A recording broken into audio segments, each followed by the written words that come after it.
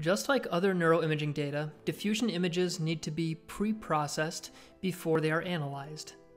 Pre-processing removes sources of noise from the image, such as movement artifacts and other distortions. Diffusion data in particular is susceptible to warping artifacts as a result of the phase encoding direction, which we'll talk about in a little bit. To begin, the first pre-processing step we will do is denoise the data by using MRTrix's denoise command. This requires an input and an output argument, and you also have the option to output the noise map with the dash noise option. For example, this command would read dwi denoise followed by the name of our input image followed by the name of an output image, which I'll affix with a den. This will just take a moment to run. When it finishes, check whether the residuals load onto any part of the anatomy. If they do, it may indicate that the brain region was disproportionately affected by some kind of artifact or distortion.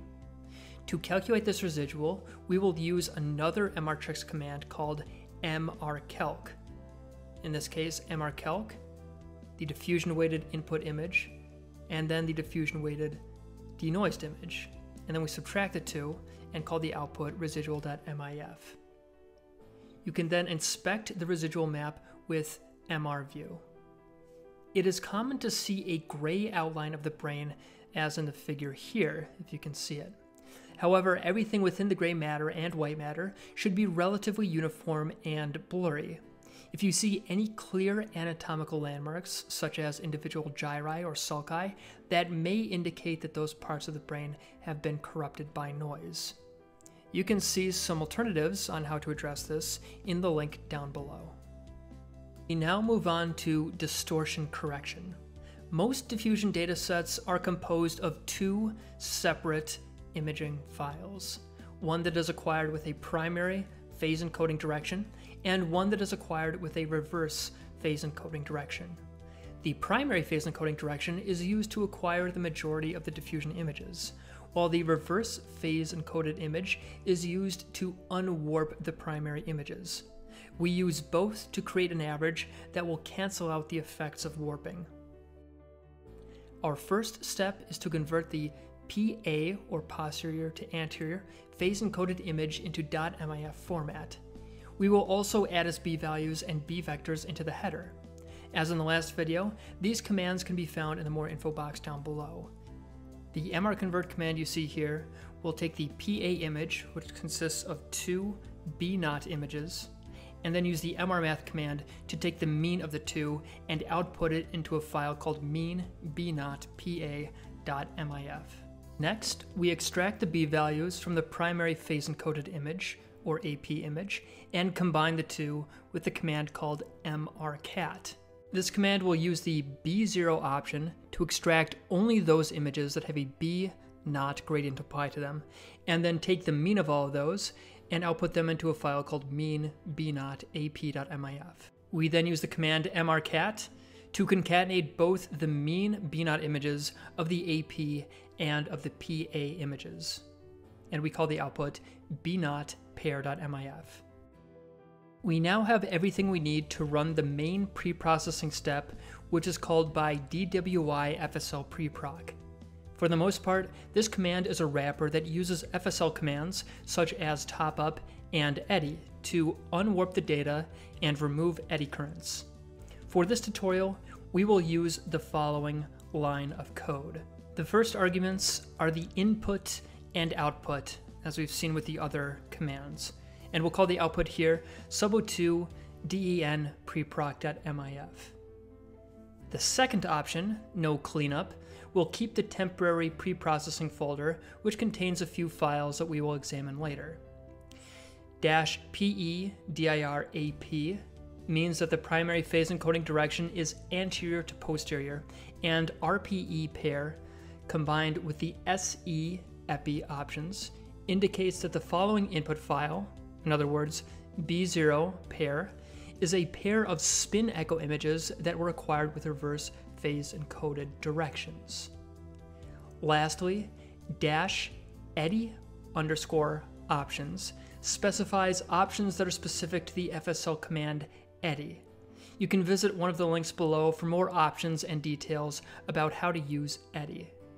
For now, we will only use the options dash dash SLM equals linear, which can be useful for data that was acquired with less than 60 directions per shell, and data is shelled, which indicates that the diffusion data was acquired with multiple B values. This command can take several hours to run depending on the speed of your computer. For now, we will fade out and come back when it is done. When it finishes, examine the output to see how eddy current correction and unwarping have changed the data. Ideally, you should see more signal restored in regions such as the orbital frontal cortex, which is particularly susceptible to signal dropout.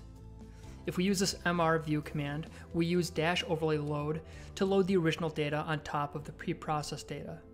This command will display the newly preprocessed data with the original diffusion data overlaid on top of it and colored in red.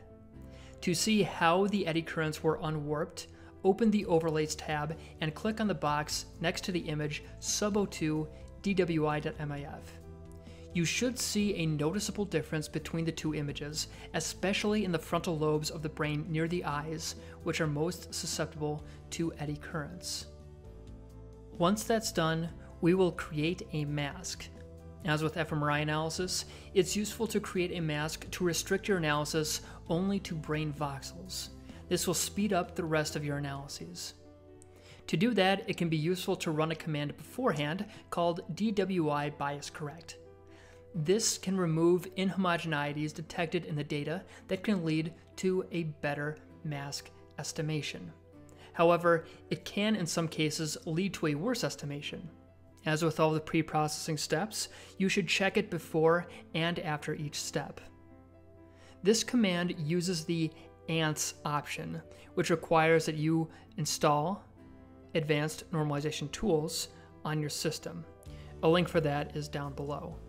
After that, you simply supply again the input image and the output image, and we can also save the bias fields as well. You are now ready to create the mask with the DWI2mask command which will restrict your analysis to voxels that are located within the brain. This command, again as with the other ones, only requires a input image and an output image, which in this case we will call mask.mif.